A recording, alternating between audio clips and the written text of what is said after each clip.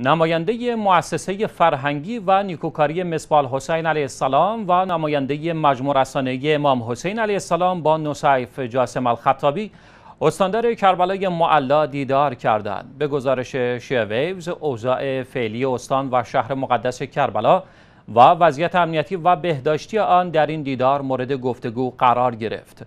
همچنین پروژه بزرگ فقر زدایی از ایتام عراق در این دیدار مورد بررسی قرار گرفت که طی آن استاندار کربلای معلا ضمن قدردانی از اجرای این پروژه آمادگی خود را برای همکاری در آن اعلام کرد.